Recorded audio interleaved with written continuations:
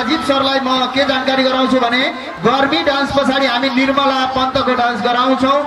Nirmala पन्तको dance भन्दा पनि